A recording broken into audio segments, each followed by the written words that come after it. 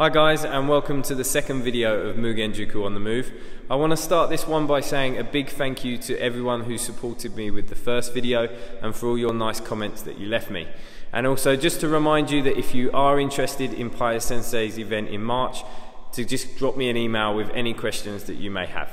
Okay, so first what I'd like to do in this video is explain a little bit about Aikido for those who know me but don't know anything about Aikido or would like an interest or begin an interest in it and a little bit about myself for those who haven't met me and have no idea who I am. So let's start off with, so what is Aikido?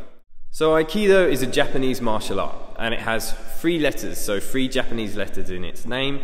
Aikido. So I is to harmonize or means harmony Ki is energy and Do is way, so the way of harmonizing energy. And what it does is it teaches us through posture, through movement, through balance, through timing, how to use an opponent's energy and force against them so that we can create throws and pins to defend ourselves. Okay, so the gentleman that you can see on the wall behind me, that is Ueshiba Morihei sensei. He's the guy that created Aikido his style of Aikido is still practiced today in Tokyo and in various countries around the world, but it's still taught today by his own family line uh, in Tokyo, which is really cool. Now, next to him on the wall, if I pan down, bear with me, I have a new toy and I haven't quite worked out how to use it. This is Gozo Shioda sensei. So he was a student of Ueshiba sensei's for about eight years and then decided to create his own style of Aikido, which he called, there I am, Yoshinkan Aikido. Yoshinkan means House of Cultivating Spirit, which was actually the name of his dad's judo dojo, but he took it on to use for his style name. So when you come into a Yoshinkan dojo, you will always find those two photos on the wall. Now, my teacher, Jacques Payet, he was a student of Gozo Shioda sensei, uh, a living student, so he lived in the dojo. So, as you probably guessed by the name, Jacques, he's not Japanese. He actually comes from an island called Reunion Island, which is just off of Madagascar. He moved to Japan when he was 22, studied with Shioda sensei there, and then moved away from Japan and taught in various countries around the world, including America and the UK, before moving back to Japan, where he now teaches in his dojo in Kyoto. So, Ueshiba sensei whoop, created Aikido. His student Gozo Shioda sensei created Yoshinkan Aikido. He taught my teacher Jacques Payet sensei, and I now learn Yoshinkan Aikido from him.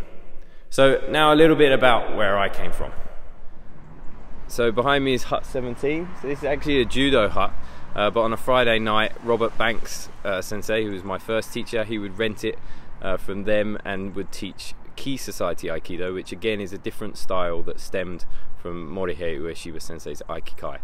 Uh, so we can now literally just walk through this gap here behind me.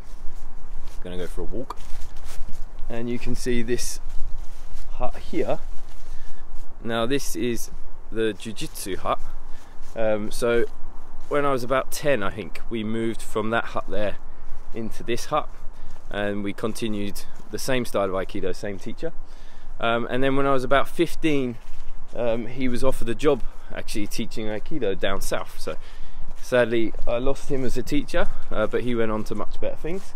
And then I moved next door into this hut, which you can see behind me now. And I studied uh, Iaido with David Ansel sensei and Kendo with his son Alex sensei, who you can see if I can get the camera around standing next to the car. And whilst I was here studying Iaido and Kendo, I also did Tomiki Aikido um, with uh, uh, one of our friends who did Iaido with us.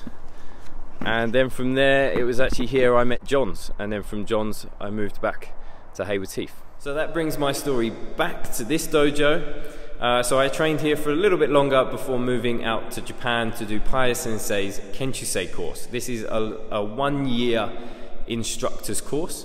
I did this and then I did the second year, so I leveled up so you become a Sewanin, which is like a manager of the Kenshusei students. Uh, so pretty much I did the course again. And then for the following two years, I was teaching on the course. Uh, whilst I was also in Japan, I was able to do kendo, kenjutsu, sojutsu, which is the spear, uh, and also the tea ceremony, which was cool. I was able to study zazen in temples and really, really get a great uh, insight into the Japanese culture, which was a fantastic experience. Uh, from then, I moved back to the UK. After moving back for six months, I went back to Japan for six months as I missed it so much and decided to do a walk across Hokkaido, the North Island of Japan, carrying just my kendo uh, bogu, my kendo armor.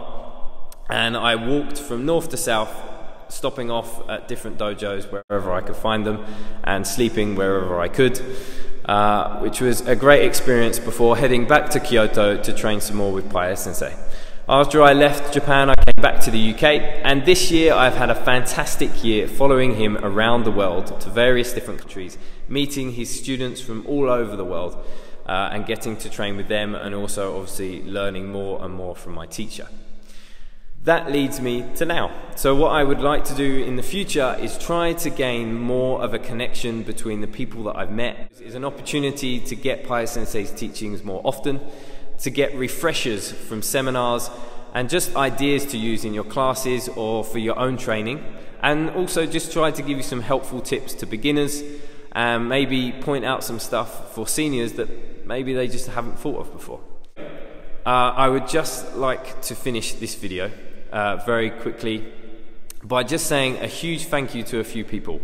Uh, I would like to say thank you to Edward and Mickey uh, for giving their advice to me um, last time I saw them on camera equipment and recording equipment, and also they looked over some videos that I'd done and given me some pointers on what I need to do.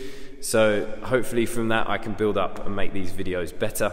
I'd just like to thank my parents for giving me a very, very early Christmas present and helping me get the equipment I needed to be able to do these videos. And I'd like to thank you one other very special person who would prefer to stay, stay nameless, uh, but without their input, I wouldn't be able to record this stuff either. So I just want to say a big thank you to you guys um, for helping me get this new blog up and running. And again, thank you to all you guys for watching and for your support.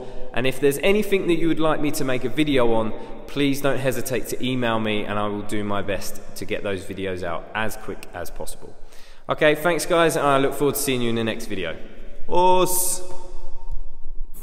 Okay, just uh, a little quick add on to that video. I just want to say a big thank you to Dominic uh, for letting me use his dojo to do these videos in. It's a perfect setting. So I'm going to leave his email or the dojo website address, sorry, at the bottom of this screen. So if you want to come and train with us, you're always more than welcome.